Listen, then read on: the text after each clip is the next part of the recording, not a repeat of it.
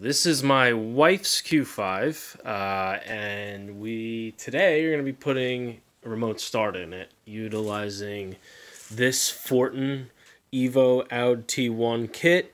It comes with a T harness and is plug and play with the exception of three wires the CAN high and low, as well as the brake switch. Um, so I'm going to show you the install procedure. Um, basically, like you would need to, in order to install yourself, you need to have a flash link updater that Fortin sells, and you download their software. You need to have a Windows PC, and you can put the latest firmware, program it exactly how you want, whether it want it to be a remote start, uh, remote start with alarm, and there's like a ton of different options that you can select. Uh, but you need to have the other piece as well. First things first, whenever you're doing dealing with anything electrical, disconnect your battery on these B8 Q5s, which is from like 2009 to 2016. Uh, batteries in the trunk. Just pull the terminals off the battery. First thing you want to do in the interior is grab an interior trim tool puller, and we need to remove this trim piece where the key port is so that we can get to the wiring behind it. Uh, so in order to do so, you want to just stick your trim tool on this end, pry it out like so, and then grab it on that side right there, right there, and this.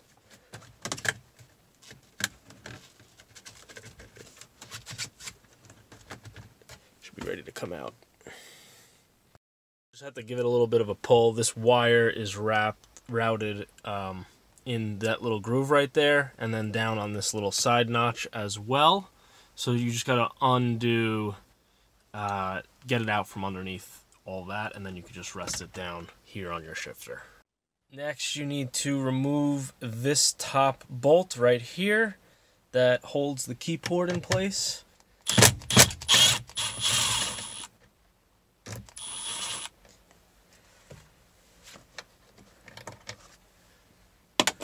And then this should be ready to come out and then you can just push it back in the dash. You want to remove this trim piece for the key port as well and then this whole thing as you can see will fall back in the dash because we're going to need to get to that and disconnect the electrical connector from behind. Now we have to remove the knee panel um, which is this piece under here, because we have to get to the brake switch wire as well as the CAN wires. Um, in order to do that, first we're going to start by popping off this fuse cover. You take your interior trim piece and just pry from behind that and pull that out. And now you'll see that there are a series of bolts to, to remove this panel. Uh, one of which is here, one of which is here, one of which is here, and I believe there's one behind uh, here as well, and possibly one on this side also. So we'll now remove this trim piece that's above the steering wheels just so we could access those other bolts. To remove this piece, again, take your interior trim tool, put it behind here, and pull. And you may have to do that on both sides.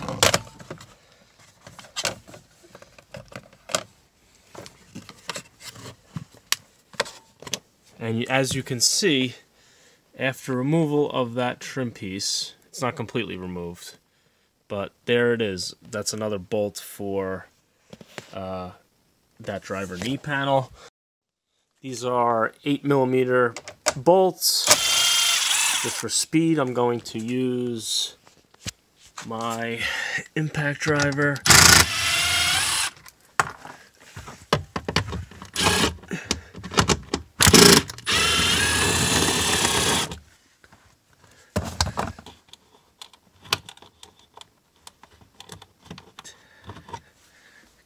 Don't lose any of these, obviously. And I'm going to have to get a ratchet to get to the ones that are, I just pointed out, that are behind the column. Hold on. Once you remove, uh, there's four screws total. There's one right here, one right here, one down in this corner and one down in the bottom right corner. There are none over here. The one that I saw here is not. I think that holds the cluster in place. It doesn't hold the kick panel in place. One, and then once you get those bolts out, they're all eight millimeter bolts. Uh, you could just grab it and pull it. The clips will pop, and then you have a couple of electrical connectors that are down here and connected to this kick panel. First off is the headlight switch. You have the light, and you have the OBD two port down there. So like the footwell light, you'll see two down there, and then this right, right here is the wire going to the headlight switch. So just gently grab those, disconnect them, and then remove this kick panel out of your way. So once you have those wires disconnected, as I mentioned, you pull the kick panel out of the way. I just put it up on the roof to get it out of the way. Now what you need to do is you need to get to the electrical connector on the back of the key port. It's get yourself a light and set it up going in this direction. You need to look up this way and uh, that there is the key port and where the electrical connector goes into it. It's a tight spot. It's got a little brown uh, thing that holds it into place, but it slides in right up there. If you need to, like, take your fingers from the top, push it back to hold it in place, and finagle it out uh, that way. Um, but basically, I already disconnected it, so you can see this is the wire. So this little brown clip, you need to pull it out, and then once that's pulled out, you'll be able to depress the tab and then separate the wires. So now at this point, you're gonna grab the T-harness that came in your kit, okay? And you're gonna find the T section of it, which is, there's your wiring harness. The T section is this right here. So you're going to plug that portion that we just pulled out, that's right hanging here, into this female end because that's a male, and then this male end is what's going to go back and plug back into the key port.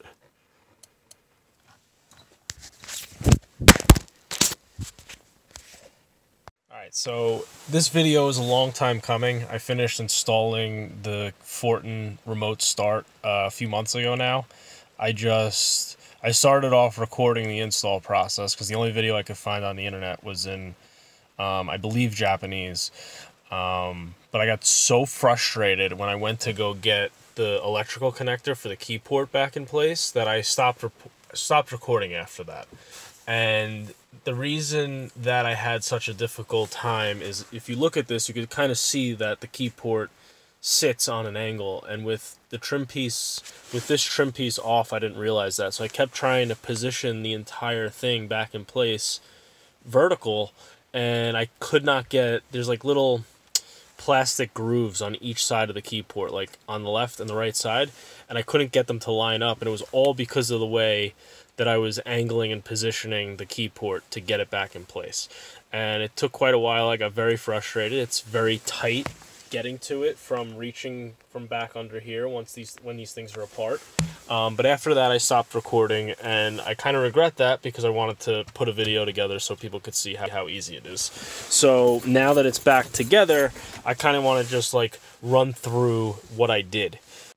When you buy the Fortin Remote Start, it comes with a link so that you could download the wire diagram. When you look at the wire diagram, it's a little overwhelming because it has a ton of wires um, on the diagram that seem to not really go anywhere. On the harness itself, there's a ton of wires that are unused.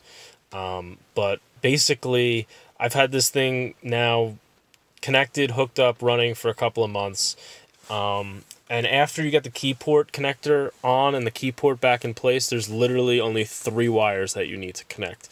All over the box for you know safety purposes, it says that the hood pin connection is mandatory, but it's really not because this vehicle, these Q5s, they have the factory, um, not a hood pin, but it's built into the latch.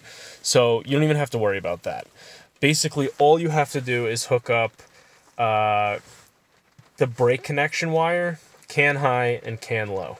Um, on the harness that you get, the brake switch is yellow and blue. It gets connected to a red and black wire on the car, which you can get to right here.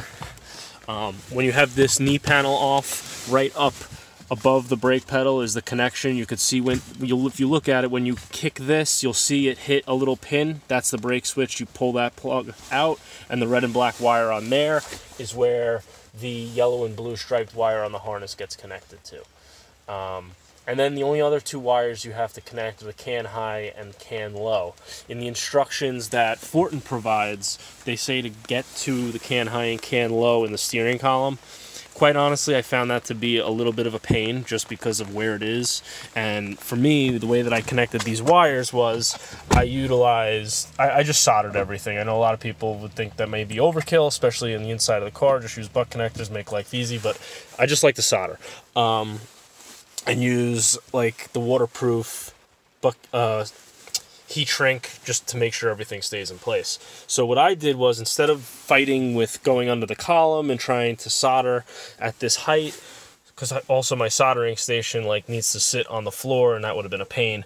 I the CAN high and CAN low can be accessed right behind this kick panel here. You basically just stick a screwdriver for the to get to the clip that holds this hood release in place. And that was done I'll show you how I did that. And then once that's done so you go right in here and pry that out and that is your clip that holds this thing in place. So then you can pull this out and then once you pull that out you can just pull up on this entire plastic trim and there's a bunch of electrical connectors in here or actually there's one screw, sorry. There's one screw right here you have to remove. But once you remove that screw, this whole piece will come right out. And then that's where you get your CAN high and can, get easier access to your CAN high and CAN low. And you can find them simply because they're just, you're going to see um, basically a orange and green and orange and brown wire that are twisted together on the harness. The gray wire is CAN high and that gets connected to the orange and green on the car. And on the harness you'll see a gray and black and that gets connected to the orange and brown wire on the harness. Just make sure you keep those wires twisted and tucked together. Um, and then that's it then you, you put everything back together and uh, your remote start works so here's my factory key let me close the door.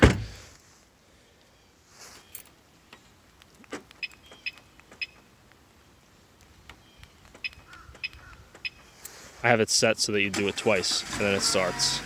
And there you go. If I want to shut it, I can one hit it three more times and it'll shut off. But that's it. It's that simple. I gotta unlock the car to get back in.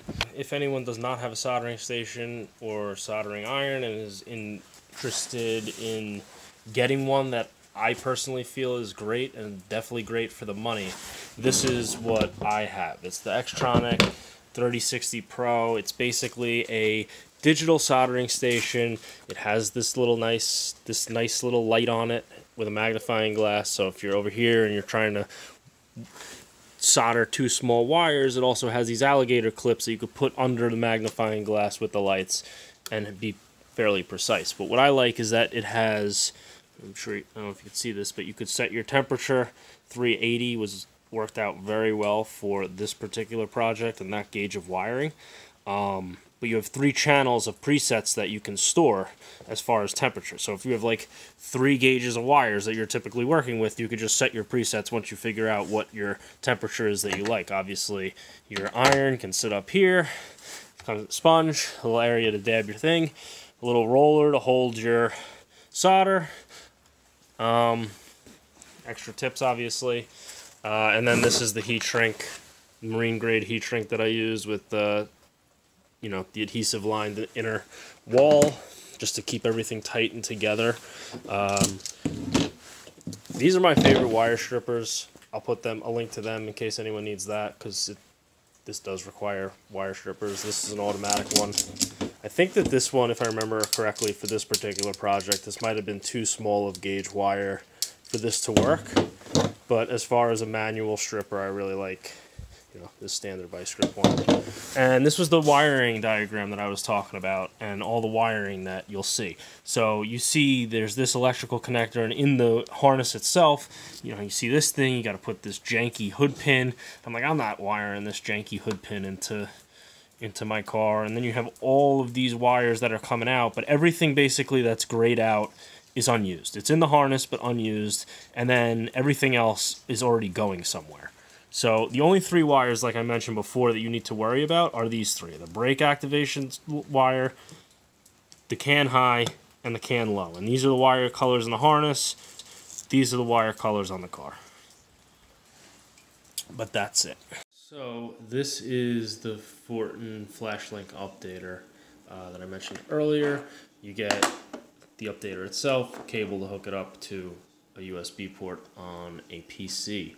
Uh, you have to have a Windows PC. I do not have a Windows PC. So what I did is I put Boot Camp on my Mac and I'm running Windows on my Mac. So if you can figure that out, then you can um, run this on a Mac and not have to go out and buy a PC if you don't have one.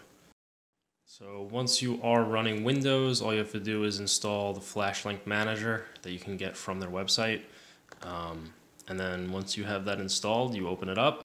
After install and you want to mess with the settings on the module, basically you take the module back out of the car, connect the updater to your PC, and connect your module on this end of the updater via the cable that they provide you.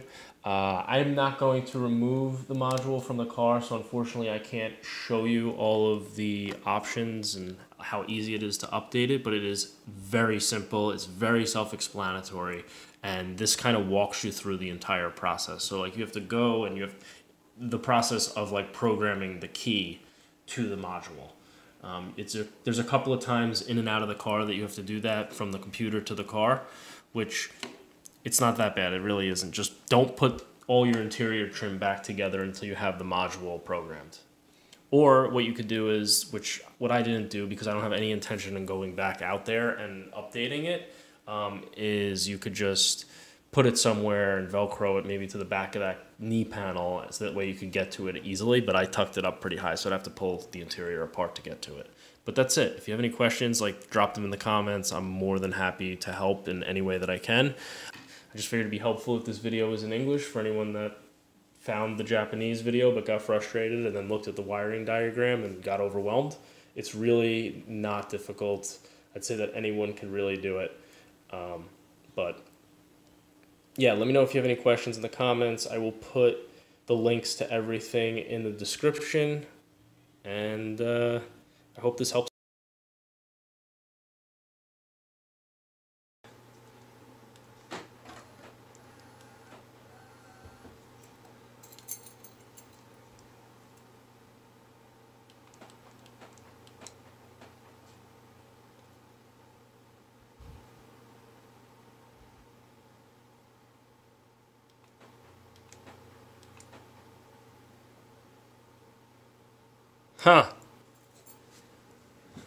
Car no starty.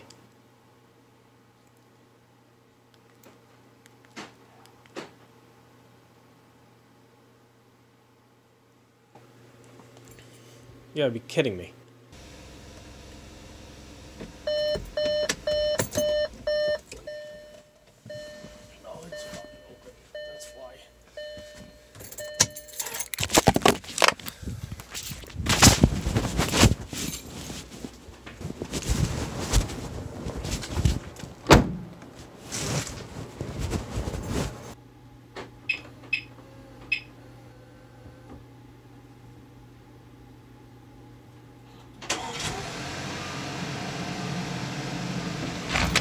It works!